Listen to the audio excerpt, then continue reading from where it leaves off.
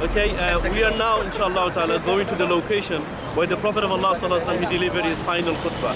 He stood near the rock. Some people, they climbed the mountain. Uh, climbing the mountain has no basis in Sharia. Approximately 120,000 companions. 120,000 companions were here, and the Prophet of Allah sallallahu he delivered his final sermon from this area. Inshallah, you'll appreciate what I'm going to do next. I want to hear the sermon. I'm actually looking forward to that. I'm actually really excited to be here. We're at the, otherwise known as Mount Rahma, and this is where the Prophet delivered his, Prophet sallallahu alaihi wasallam delivered his last sermon. That's And it. yeah. um, we're actually going to get Maulana Mujahid who's going to read us out the final sermon of the Prophet sallallahu alaihi wasallam. Bismillahir Rahmanir Rahim. All praise is due to Allah. So we praise Him and seek His pardon and we turn to Him. We seek refuge with Allah from the evils of ourselves and from the evil consequences of our deeds. Whom Allah guides aright, there is none to lead him astray, and there is none to guide him aright, whom Allah leads astray. I bear witness that there is no God but Allah, the one having no partner with him. His is the sovereignty, and to him is due all praise. He grants life and causes death, and is powerful over everything. There is no God but Allah, the one. He fulfilled his promise and granted victory to his bondsmen, and he alone rooted the confederates of the enemies of Islam. O people, listen to my words, for I do not know whether we shall ever meet again and perform Hajj after this year. O people, Allah says, O people who created you from one male and one female, and made you into tribes and nations, so as to be known to one another. Verily, in the sight of Allah, the most honored amongst you is the one who is most muttaqi, most God-fearing. There is no superiority for an Arab over a non-Arab, for a non-Arab over an Arab, nor for the white over the black, nor for the black over the white, except in God consciousness. All mankind is the progeny of Adam, and Adam was fashioned out of clay. Behold, every claim of privilege, whether that of blood or property, is under my heels, except that of the custody of the Kaaba, and supplying water to the pilgrimage.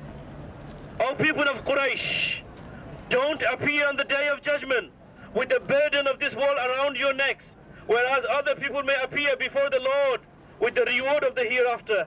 In that case, I shall avail you not against Allah. Behold, all practice of the days of ignorance are now under my feet. The blood revenges of the days of ignorance are remitted. The first claim on blood I abolish is that of Ibn Rabi'a ibn Harith, who was nursed in the tribe of Sa'd, and whom the Hudayl killed. All interest, riba, and usuries, dues, occurring from the times of ignorance stand wiped out. And the first amount of interest that I remit is that which Abbas ibn Abdul Muttalib had to receive. Verily, it is remitted entirely. O people, verily your blood, your property, and your honor are sacred and inviolable until you appear before your Lord. And as the sacred inviolability of these days of yours, this month of yours, and the very town of yours, verily you will soon meet your Lord, and you will be answerable for your actions. O people, verily you have got certain rights over your women, and your women have certain rights over you. It is your right upon them to honor their conjugal rights, and not to commit acts of impropriety, impropriety, which if they do, you are authorized by Allah to separate them from your beds and chastise them, but not severely, and if they refrain, then clothe and feed them properly. Behold, it is not permissible for a woman to give anything from the wealth of her husband to anyone but with his consent. Treat the women kindly, since they are your helpers and not in a position to manage their affairs themselves. Fear Allah concerning women. Fear Allah concerning women. Fear Allah concerning women. For verily you have taken them on the security of Allah and have made their person lawful unto you by the words of Allah. O people, Allah the Mighty and Exalted has ordained to everyone his due share of inheritance. Hence there is no need of special testament for an heir. The child belongs to the marriage bed and the violator of wedlock shall be stoned and reckoning of the deeds rest with Allah. He who attributes his ancestry to other than his father or claims his clientship to other than his master, the curse of Allah is upon him. All debts must be repaid. All borrowed property must be returned. The gift should be returned. And the gift should be taken in, in respect. And surety must be made good to the lost to the assured. Beware, no one committing a crime is responsible for it but himself. Neither the child is responsible for the crime of his father, nor the father is responsible for the crime of his child. Nothing of his brother is lawful for a Muslim except what himself gives willingly. So do not wrong yourselves. O people, every Muslim is the brother of every other Muslim, and all the Muslim from one brotherhood. And your slaves see that you feed them with such food as you eat yourselves, and clothe them with the clothes that you yourself wear. Take heed, don't go astray after me, strike one another's necks. He who amongst you has any trust with him, he must return to his owner. O people, listen and obey. Listen and obey.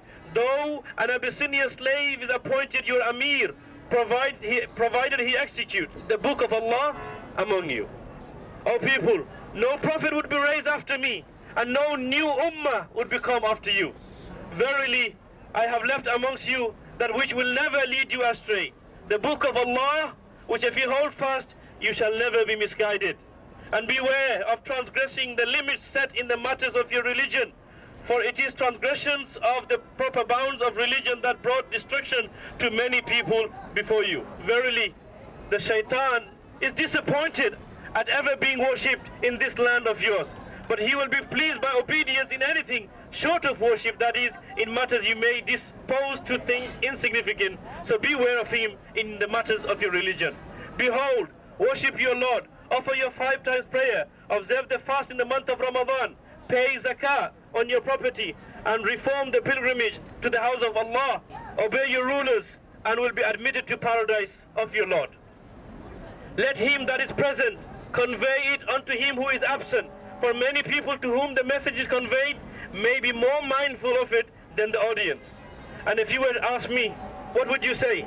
The Prophet of Allah then he addressed his 120,000 companions. The reply came from 120,000 companions. We bear witness that you have conveyed, O Prophet of Allah, the trust and discharge your ministry of prophethood and look to our welfare. Rasulullah thereupon he lifted his forefinger towards the sky and then he towards then he pointed towards the people. He said, Allahumma shahad. Allahumma shahad. Allahumma shahad. Translation, O my Lord, bear thou witness unto it. O my Lord, bear thou witness unto it. O Lord, bear thou witness unto it. Then the Prophet of Allah sallallahu alaihi wasallam, he got down from his camel and then he made dua for the entire ummah. And the khutbah comes to an end.